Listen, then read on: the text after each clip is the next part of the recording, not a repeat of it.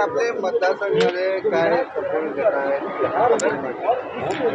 माझा मतदारसंघ मेहकर जिल्हा बुलढाणा या ठिकाणी आहे.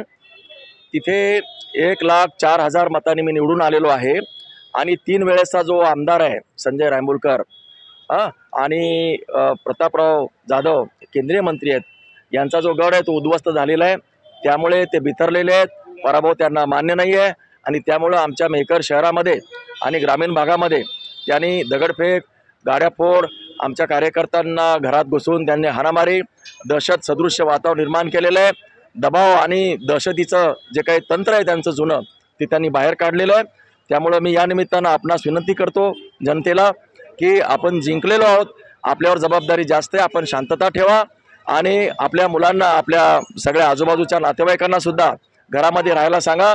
कोणत्याही प्रकारचा आपल्या हातून कोणतंही कारण घडू नये या दंगलीला वाढण्यासाठी.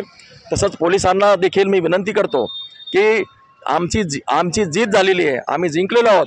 आम्ही खरं तर अशा प्रकारचा उत्साह करण्याऐवजी जे हरलेले आहेत त्यांचा उन्माद आपण बंद करा. जे उन्माद करतायत त्यांची नावं मी तुम्हाला दिलेली आहेत. त्यांना ताबडतोब जेरबंद करून त्यांना पोलीस कस्टडी दाखवा. आणि हे जे आतापर्यंत जे चाललेलं जे भूत आहे भानामतीचं भूत हे आता तुम्ही जेरबंद करा. नाही तर याचा महाराष्ट्रभर याचं लोन पसरेल आणि त्याची जबाबदारी पोलीस प्रशासन जिल्हा प्रशासनावर येईल हे मी या निमित्तानं आपल्या माध्यमातून सगळ्यांना सांगतो आहे.